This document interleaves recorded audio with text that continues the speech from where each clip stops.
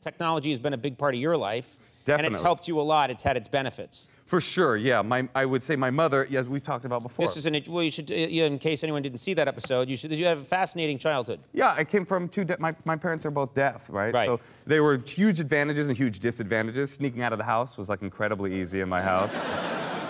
but also, it was difficult. If I needed to contact my mom, I couldn't do it. I couldn't contact my mom if she was gone. Like if she wanted to, if she was out of the house, I couldn't call her. I couldn't text her. Right. Now with texting and and with FaceTime, I can talk to her in real time, and it's really an important. It's been a huge benefit to our lives. Like now, if she wants to make me feel guilty.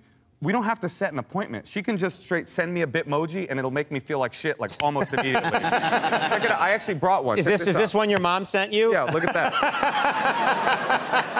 you get F as bad son. it's like the worst episode of Sesame Street ever. Yeah, I know, I know. also, why does she look like Yoko Ono? Check Yeah, this yeah, out. And you, should, you should get her a hat that fits. I know. Get her a good hat. Well, it sounds fascinating. Problematic uh, with Moshe Kasher airs uh, Tuesdays at 10 on Comedy Central. I'm in favor of anything where there's less sort of vitriol and people are listening to each other. Yeah, the thing is, when we stop agreeing with each other, that's when we stop talking, and I think that's when we have to start talking, basically. Yeah.